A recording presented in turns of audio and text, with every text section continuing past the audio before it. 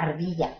Ardilla vamos a coger gancho doble, ¿vale? Le de una, dos dedos, gancho y nos lo llevamos a la boca así.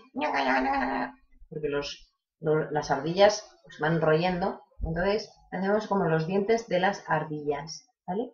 Ardilla.